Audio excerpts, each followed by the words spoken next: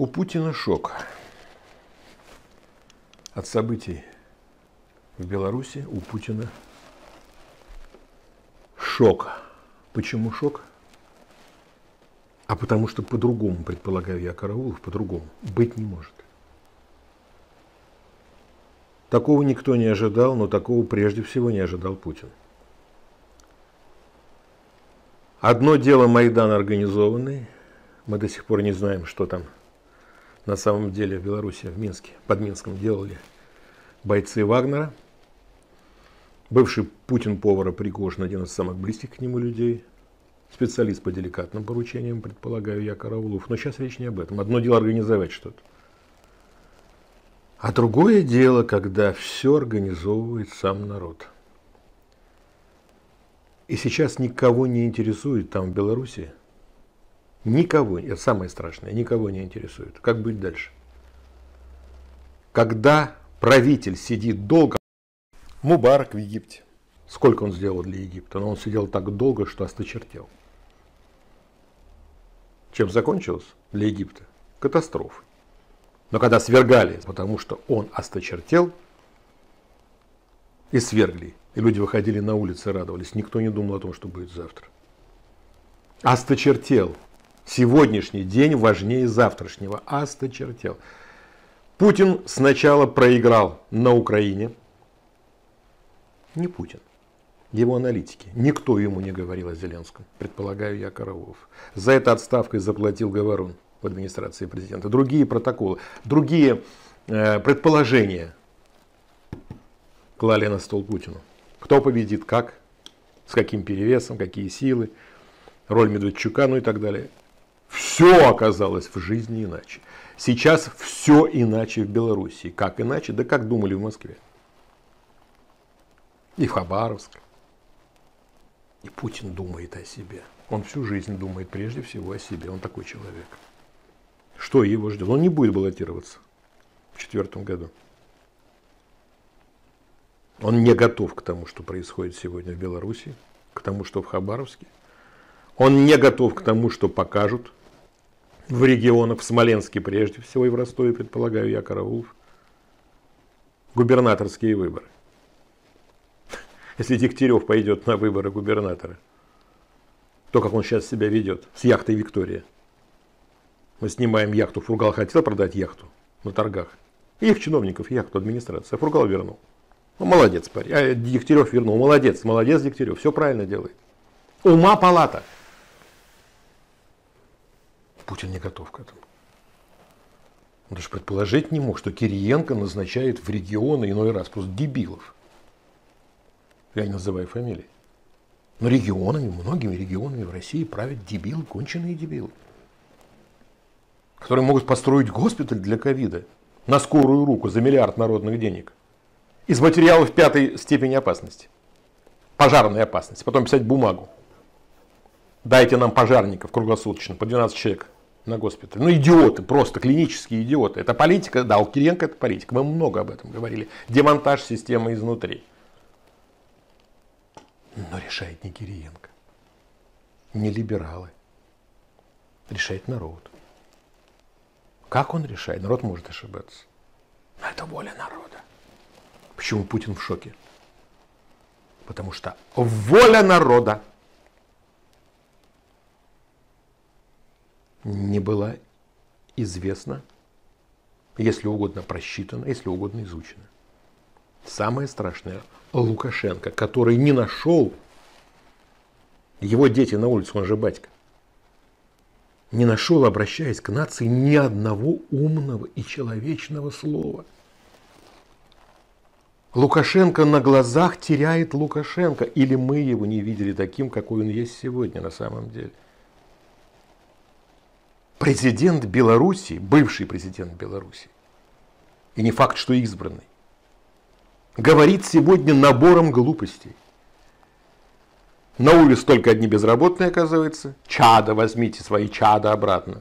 Какие чада? Ни одного митинга в защиту Лукашенко. Где они, эти 80%?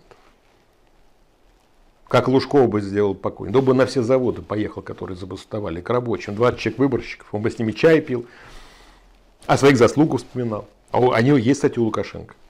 Он бы сидел в кругу людей. Лужков, потому что он говорил с ними на одном языке. Всегда. Как угодно можно относиться к мэру Москвы. Сложный человек, мощный человек. Но у него был русский язык. Народный язык, родниковый, с людьми. Где он, этот родниковый язык? Рука Чехии, рука Вильнюса. Что несет Александр Лукашенко? А самое главное, то, о чем вчера у нас Надеждин говорил в эфире, пересчитайте голоса Бакани. Бюллетень не уничтожили. ЦИК-то официально не сказал, что 19-го будет итог. ЦИК уже боится. Люди в ЦИКе, предполагаю, тюрьмы боятся за фальсификацию. Они будут пересчитывать бюллетени. Будут. Под камеры. Маленькая страна, так легко пересчитать. Несколько миллионов бюллетеней. И все. Лукашенко не дает, тоже все. Безвыходная ситуация. Вот от чего Путин в шоке. Он все экспропалирует на себя, на Россию.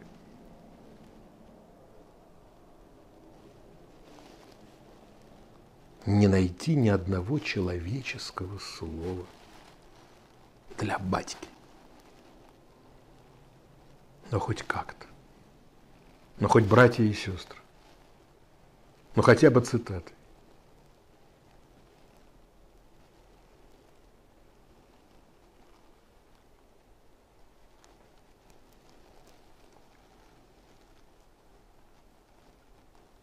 Они сами виноваты. Они загнали народ, начальники, в такое стоило, что кто угодно, хоть Тихановская домохозяйка, кто угодно, хоть черт в ступе, хоть обезьяна, только не а они. И лишь сейчас, предполагаю я, Караулов, только сейчас, понимание, что что-то совсем-совсем не так –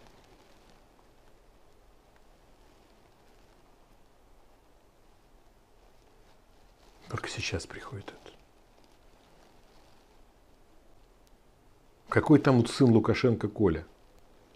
Мэр Минска? Кто-то об этом мне говорил? В будущем. Какой мэр? Какого Минска? Ребята. Как сказано в пьесе Горького «На дне», Сатин говорил, человека уважать надо. Лукашенко не может пойти на пересчет бюллетеней. Тут ты выяснится, предполагаю я, что за него ну, не 3%, но 10, не больше. Прав Цыпкало. 10. Все. Остальное рисовать. Дорисовались. А что мы умеем, если не рисовать? Стрелять никто не будет. Пытаются. Но это не то время, не тот 21 век. А как удержать народ? Это маленькая страна. Две трети Москвы все население. И то договориться нереально. Две трети Москвы. А в России? С дебилами-то вокруг. С Кириенко. Ах, Бог послал нам. Парня. Раньше я один орал. Профессия Кириенко дефолт. Сегодня все это повторяют. Все силовики, все говорят, что он делает. Кого назначает. Как проводим голосование? Почему людям в душу плюют?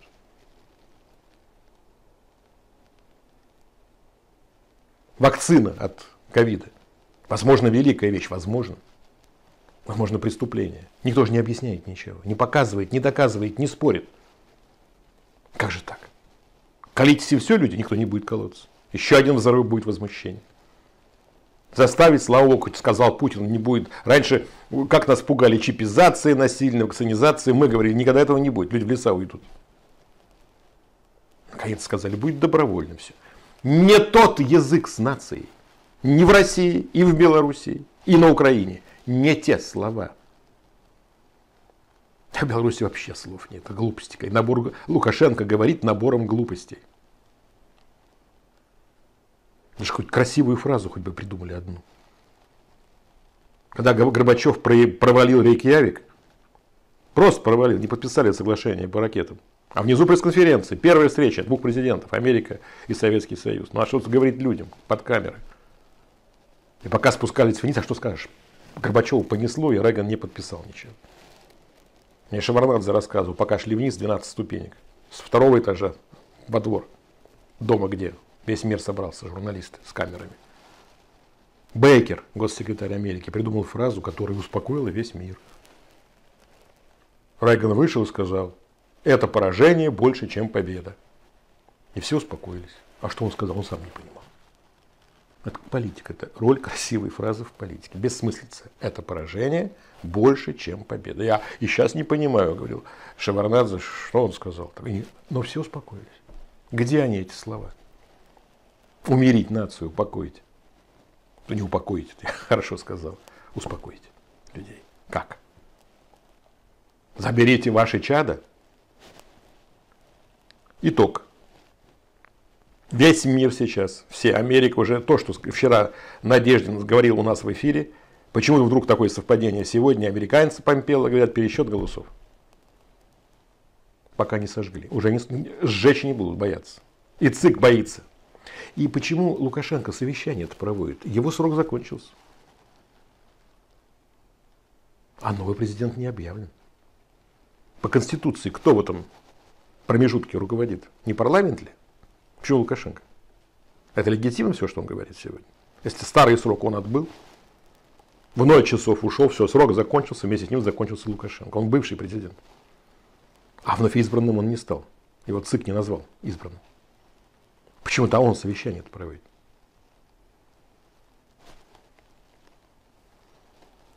У Путина шок.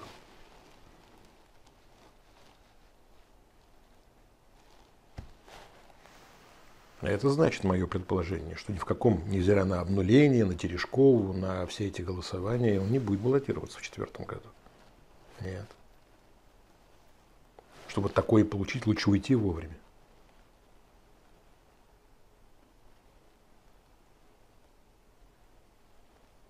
Надо уметь уходить. Доминго чудовищно поет травиату. У нас пленка есть, последняя его. Травиата перед коронавирусом на арена Диверона. Чудовищно он пел Жермона. А уйти не может. И петь не получается, как должно великому певцу, королю оперы. И уйти. Уходить неохота. Неумение уйти – это трагедия всех тех, кого потом называют в политике. Словом диктатор. Неумение уйти. В 20 веке, в 21 все, кто не умел уйти. Как Каддафи, как Саддам, как Садат, ну, все. Все закончили очень плохо. В этом ряду Лукашенко пока последний.